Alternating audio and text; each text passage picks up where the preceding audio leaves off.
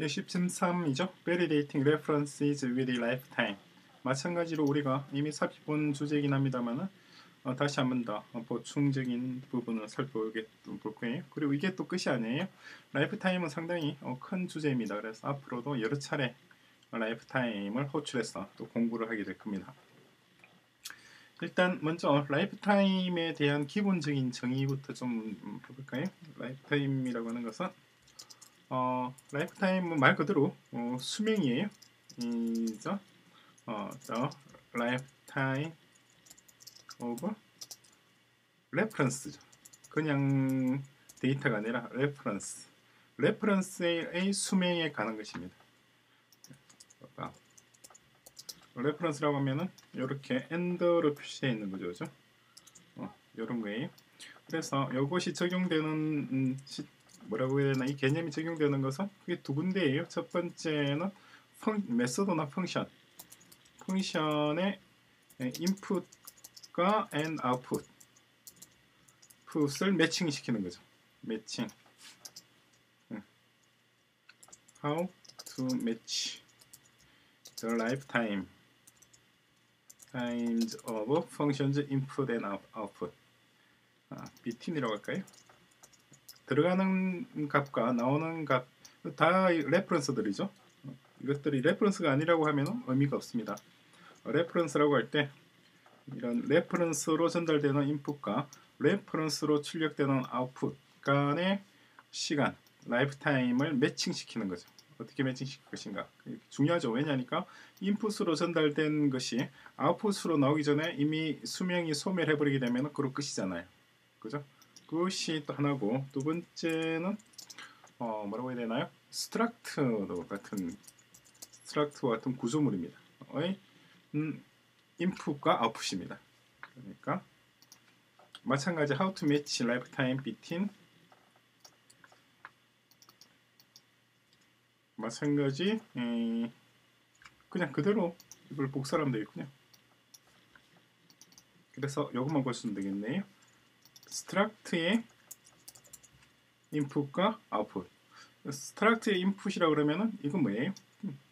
필드들이죠. 필드들이고 아웃풋은 struct 그 자체입니다. 그죠? 인풋이라고 하면은 어, 이걸 필드 필드들이고 얘는 struct 그 자체. 요게 어떤 의미인지도 우리가 조금 이따가 좀 설명을 다시 드릴 거예요. 이게 뭐 어떤 의미인지 지금 감이 좀 안 오실 거예요. 예, 그리고 어, 수명이라고 하는 것이 기본적으로 무엇인가 하는 것도 생각해 주셔야 됩니다. What is lifetime? What is a lifetime?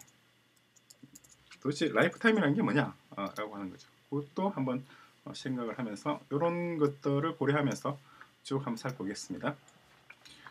그래서 상당히 이번 에피소드는 길어요. 어, 굉장히 많습니다. 양이. lifetime의 필요성 이런 거죠. 어, R 있고 R을 declare 했습니다. 그런 다음에 X를 만들고 R에는 X의 reference를 준 거예요. 그죠? 그리고 이제 프린트를 합니다. 뭘 프린트를 하느냐니까 R을 프린트하죠. 그러면 R이 지금 보고 있는 건 뭐예요?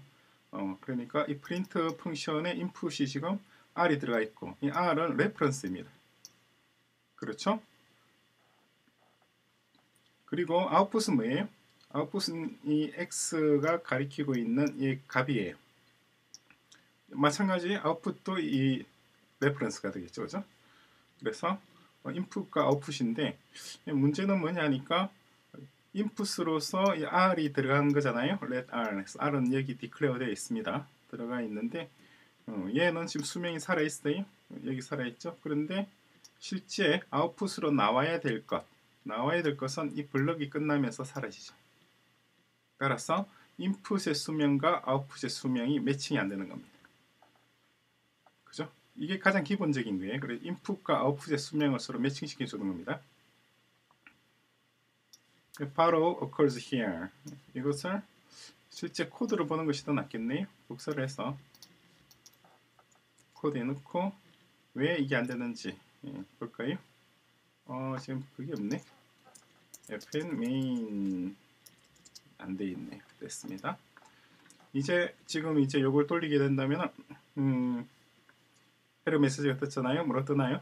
X does not live long enough. X가 충분히 살고 있지 않습니다. 어, borrowed value. borrowed value라고 하는 것은 reference예요. 그죠? reference가 충분히 살지 않는다 이 말이에요. 그래서 자, Rust의 여섯 번째 줄, 여섯 번째 줄에서 borrow value 그리고 일곱 번째 줄에서 x가 drop됐습니다. 그렇죠? 이 x가 사라졌단 말이에요. 그죠? 그리고 어, 또 어떻게 됐나요? 아홉 번째 줄에서 다시 borrow later used here 빌린 것을 다시 사용한다는 말이죠. 여기서. 그죠? 그러니까 이것이 primitive 타입의 데이터잖아요. primitive 타입의 데이터인데 요건 역시도 어떤 데이터들 간의 스타일, 스택이 있던 heap에 있던 요 번역, 요 권역, scope를 벗어나게 되면 그것은 다 메모리에서 삭제됩니다. 그래서 deallocation 되는 것이 아니라 drop 되는 거예요. deallocation 되는 것은 heap에서 데이터를 드러낼 때 그때는 deallocation이라고 그러고 어, stack이든 heap이든 어, 어디에 있던 데이터를 들어내는 것 그것은 다 drop이 됩니다. 특히 음, variable을 name과 어, 값 간의 이런 이게 값이 될 수도 있고 아니면 포인트 변수일 수도 있죠. 포인트일 수도 있죠. 어떤 것이든 간에 variable과 그에 연결되어진 어떤 테이블, 사실상 테이블이 들어 있는데 그 테이블들 간에 binding을 해제하는 것을 다 drop이라고 표현합니다. 그 드랍이 발생하는 지점이 바로 이 지점이란 말이죠. 여기서 발생하고 또한 여기서도 발생합니다. 그래서 여기서 R이 드랍되고 드랍 R 그리고 여기서 X를 드랍하죠. 그죠? 따라서 인풋으로 들어가는 R이 아웃풋으로 나오는 X보다 훨씬 더 오래 살죠. 이런 미스매칭에 의해서 이 프로그램은 동작하지 않는다는 거죠. 이게 이제 lifetime의 기본적인 개념이에요. 그리고 조금 더 내려가서 또 보겠습니다. 요거 방금 설명드린 내용이 요 내용입니다. 우리가 이전에 이미 살펴봤었죠. 음. 그리고 한 가지 더 얘기를 할 만한 건 뭐냐니까 그럼 수명은 어떻게 측정하느냐라고 하는데 수명을 측정하는 방식은 굉장히 단순합니다. 여기 메인 여기가 한 살, 두 살, 세 살, 네 살, 다섯 살, 여섯 살, 일곱 살, 여덟 살. 그죠? 그래서 밑으로 내려올수록 수명이 더 긴 거예요. 그죠? 어, 굉장히 단순하죠. 수명 계산은 굉장히 단순합니다.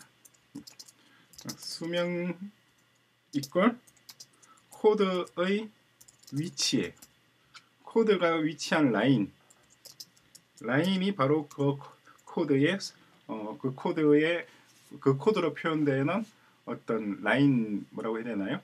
어, 그저 variable이나 이런 것들의 수명이 됩니다.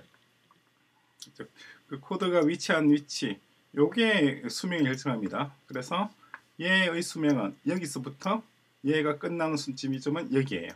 그리고 태어나는 지점 숨을 거두는 지점 숨을 거둔다고 하기 좀 그렇습니다만 하여튼 lifetime으로 그렇게 표시가 되어 있으니까 여기가 태어나는 지점 얘가 사라지는 지점 그죠? 그러니까 라인이 아주 중요해요. lifetime은 라인이 중요하다. 그거 여러분 염두에 두셔야 됩니다. 책에 그런 내용이 없어요. 그래서 제가 다시 한번 강조해서 말씀을 드립니다. 상당히 중요한 개념이에요. 위치, 라인의 위치가 중요하다는 거예요. 그리고 generic lifetime 펑션에서 일반적인 lifetime에서 string 1, string 2 이렇게 하나를 만들고 또 만들었죠, 그죠? 그리고 얘와 얘를 어, 비교하는 longest 펑션을 호출하고 다음에 리졸트를 리턴하는 이런 겁니다.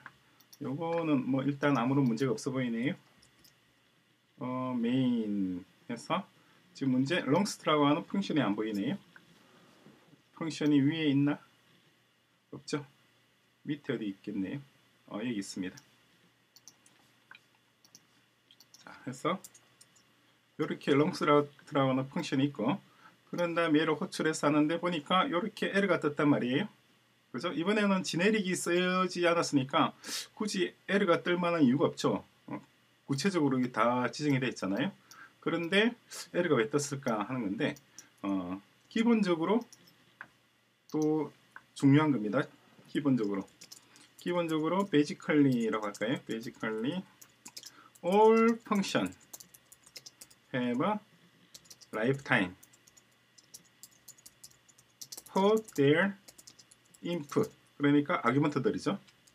아규먼트와 and output 그러니까 return value죠. value 다 가지고 있어요. 다 가지고 있는데 두 가지가 있습니다. 가지고는 있지만 이것이 explicitly 표시될 수도 있죠. express다.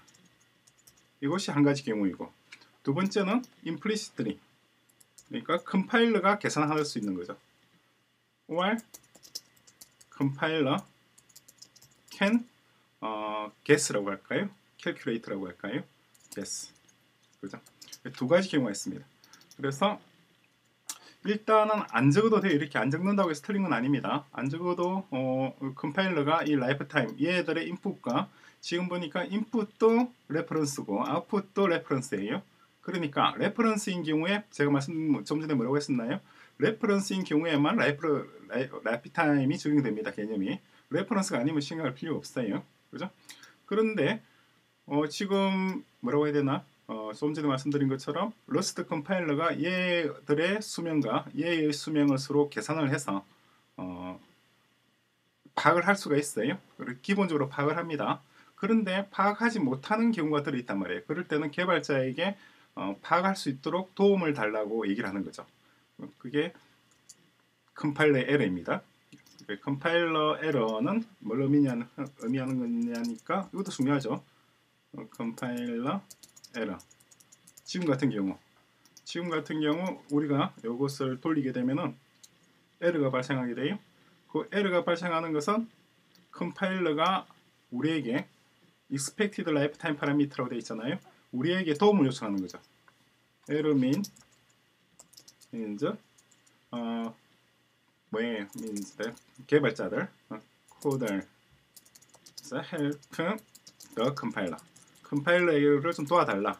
컴파일러가 이렇게 하고 싶은데 7-2로 하고 싶은데 할 수 없으니까 좀 도와달라라고 얘기하는 겁니다. 그럼 우리가 도와주면은 그러면은 도와주면은 도와준 것을 보고 컴파일러는 계산합니다. 논리적 계산 두 가지 계산하게 돼요. 컴파일러 만약에 도와준다. 도와달라 그러죠. 그래서 우리가 도와주는 겁니다. 우리가 도와주는 것이 어, lifetime 음, generic이죠. 이것도 이것도 generic입니다. lifetime도 generic이니까 이 제목이 계속 generic으로 되어 있잖아요. 그죠? 그래서 we developer죠. developer들이 어, denote life lifetime lifetimes of input and output output 다 reference들이에요. reference. 그러면은 이렇게 우리가 도와주고 나면은 컴파일러는 두 가지를 합니다. 첫 번째는 어떤 논리적 오류가 있는지 없는지를 파악을 하는 거예요. 첫 번째는 logical correctness를 평가하고 두 번째는 수명을 실제 측정을 하는 겁니다. 여기 어떤 의미인지를 지금부터 설명을 드릴 거예요. 그래서 measure, measure, 어, real lifetime of 어, 이런 references 확인해 보는 거죠. 그죠? 실제로 measure라고 하는 말은 체크라고 하는 말과 같습니다. 이 두 가지 절차를 거쳐서 어, variable들의 lifetime을 결정하게 돼요. 여기 어떤 의미인지를 지금부터 보자는 거예요. 이게 어떤 의미인지. 아, 이게 아니었네요. 다시 여기 다시 교재로 들어가겠습니다. 이번 상당히 좀 길기 때문에 두 분으로 나눠서 에피소드를 둘로 나눠서 말씀을 드릴 거예요. 그래서 지금 보시면 이 경우, 이 경우에는 어, 좀 도와달라는 거예요. 도저히 좀 모르겠다. 그러니까 컴파일러가 어, 이 인풋과 아웃풋의 어, lifetime을 결정을 하는 그 나름대로의 룰이 있어요. 그 세 가지 룰도 좀 있으면 우리가 소개를 드릴 겁니다. 세 가지 룰이 있는데 그 룰 가지고 그 규칙으로 도저히 파악을 못할 테니까 못하겠으니까 좀 도와달라고 얘기하는 거죠. 그래서 우리가 도와주는 겁니다. 어, 컴파일러를 도와주는 거예요. 어떤 식으로 도와주느냐니까 이렇게 lifetime generic을 이용해서 사용합니다. 이것도 generic이라고 하는 점을 여러분 잊으면 안 됩니다. lifetime은 generic입니다. Lifetime 아 generics 우리가 generic 이전에 에피소드에서 공부했었죠. 그때 공부했던 개념들이 lifetime에 그대로 다 적용이 돼요. 자, 그래서 이렇게 적어주게 되는 겁니다. 이렇게 적어주면은 어, 이제 논리적으로 파악을 하는 거예요. 너무 번거로우니까 좀 지우고 요것을 이렇게 만들어주는 거예요. 이렇게 우리 작성하는 거죠. 음, 이런 게 있으면 안 되겠네.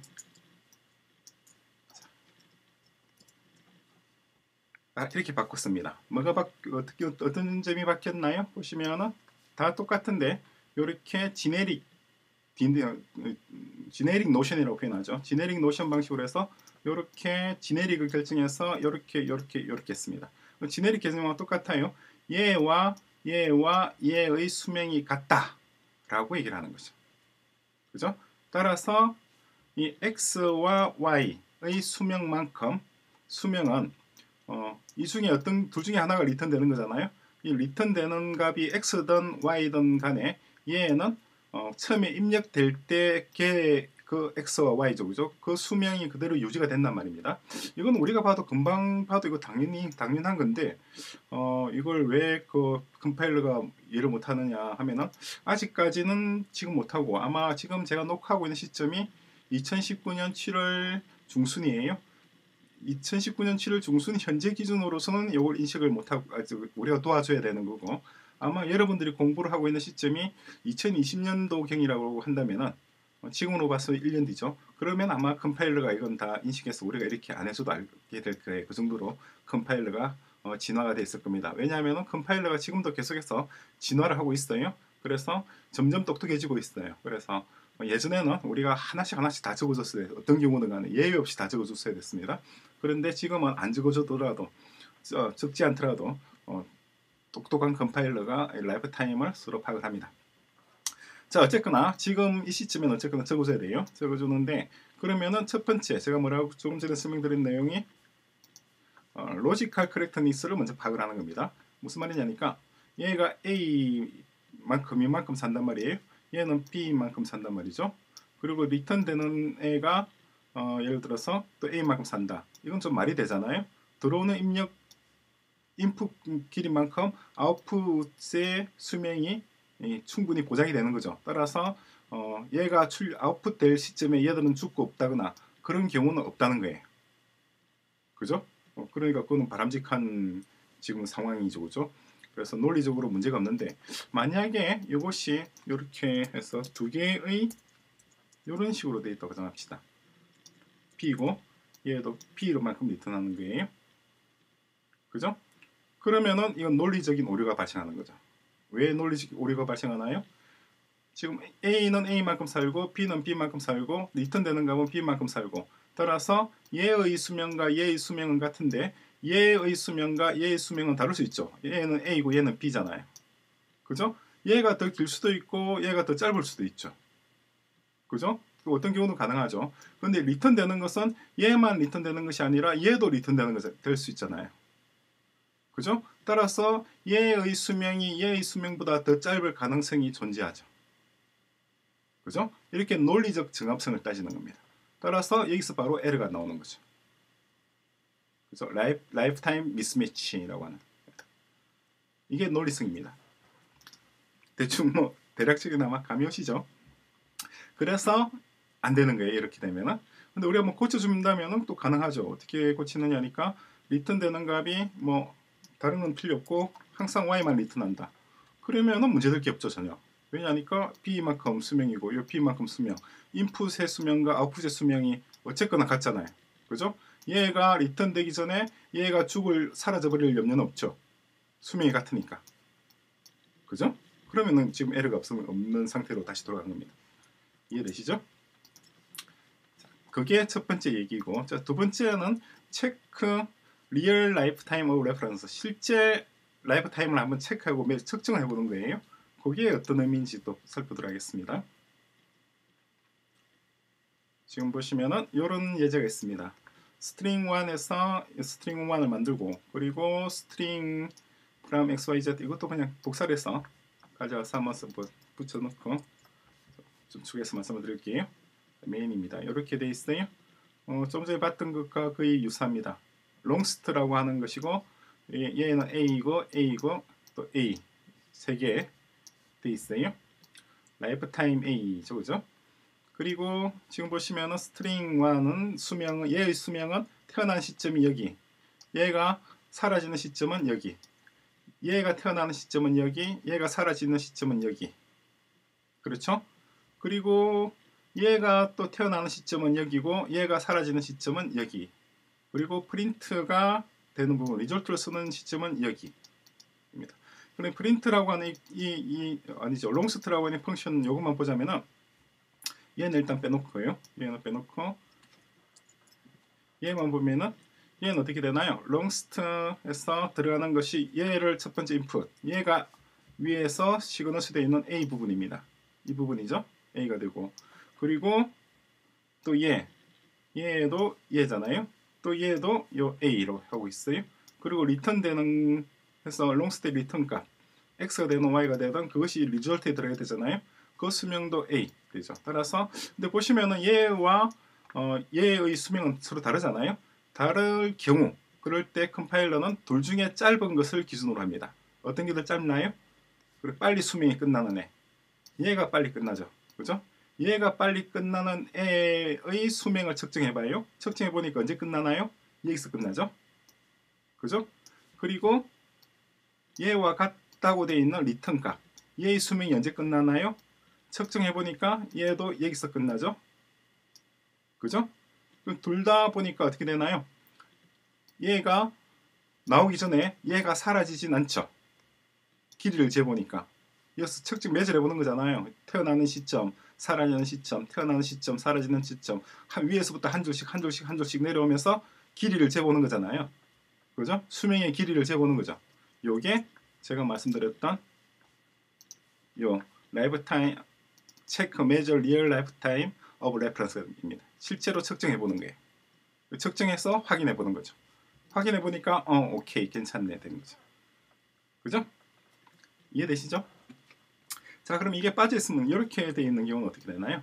자 이걸 제가 어, 주석을 제거를 하면은 에러가 뜰까요 안 뜰까요 한번 생각해 보십시오. 생각해 보셨나요? 제가 보시겠, 제가 보겠습니다. 여러분들 생각은 좀 다를 거예요. 아, 에러가 떴네요. 어떻게 떴죠? 리절트가 사라져 버렸잖아요. 사라진 상황에서 얘가 호출하니까 그러니까 서로 안 맞죠. 수명은 얘는 끝나버린 거예요. 끝났죠? 끝난 상황에서 입력값을 요청하니까 이건 말이 안 되는 거죠. 이거는 lifetime하고는 별 상관이 없는 주제입니다. 그렇죠? lifetime하고 상관이 있으려면은 음, 이렇게 하면 좀 상관이 있을 것 같은데 자 다시 이걸 이렇게 넣고 여기다가 이렇게 let result하고 선언만 declare만 했습니다. 그리고 값을 할당하는 것은 여기 값을 할당하는 걸 할게.